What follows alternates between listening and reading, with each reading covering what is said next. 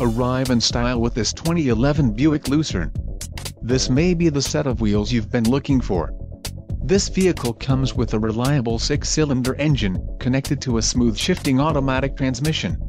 This vehicle's top features include 227 horsepower horsepower, 3.9-liter V6 engine, 4 doors, 4-wheel ABS brakes, 8-way power adjustable driver's seat, air conditioning with dual-zone climate control, audio controls on steering wheel, automatic transmission, Bluetooth and clock, in radio display.